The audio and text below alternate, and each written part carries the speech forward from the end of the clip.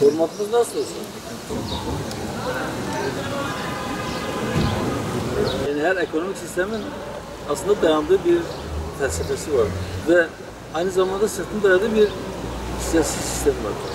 Bizim bakış açımıza göre şimdiye kadar İslam'ın hakim olduğu dönemlerde Allah'ın razı olacağı şekilde uygulananlar hariç ya ifrattır ya tefrittir.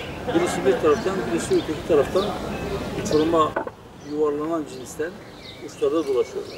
Kapitalist sistemin temelinde kıtlık kanunu var. İktisatın temelinde kıtlık kanunudur. Zaten iktisat da kıt olan kaynaklarla sınırsız ihtiyaçları nasıl gidereceği sorusunun cevabıdır derler. Yani bunun cevabını arıyorlar. İktisatın böyle doğmuştur derler. Her şeyin hazinelerinin anahtarı onun yanındadır. Ama birdenbire boca etmiyor insanlar üzerine. Peyderpey parça parça veriyor. Niye? Yoksa insanlar gerçekten azgınlaşır.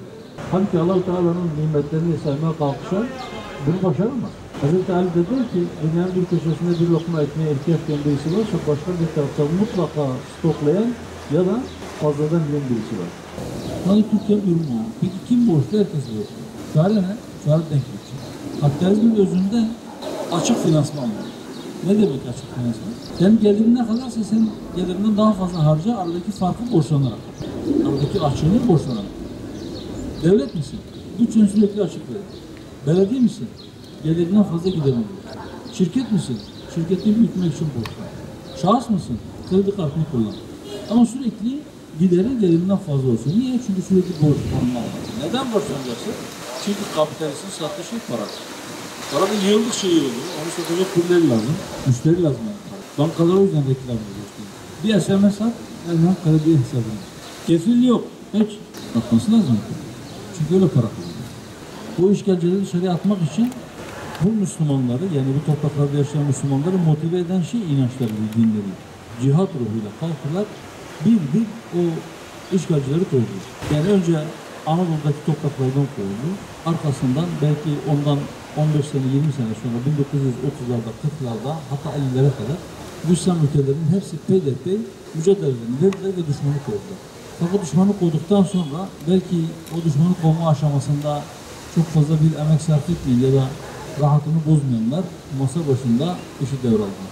Ne zaman oralardan birileri gerçekten milletin temsilcisi olarak iş başına gelmeye çalışsa dışarıdan tekrar müdahalelerle onu görevden uzaklaştırmak için türlü türlü oyunlar kuruyor.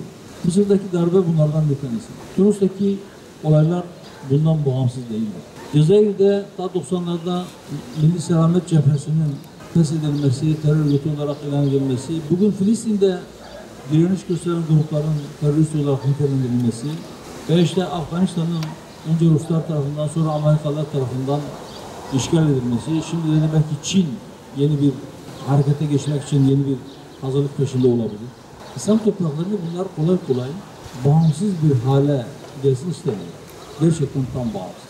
Tam bağımsız olmaya çalıştığında birileri harekete geçiyor. Pakistan'ın bağımsız olacağını, kendi kararlarını kendi vereceğini söyledi. Ama unutulan bir şey vardı. Pakistan'da hem ordunun içerisinde hem de Pakistan istihbaratının içerisinde çok güçlü bir Amerikancı damar var. Yine öyle bir şey oldu gibime geliyor.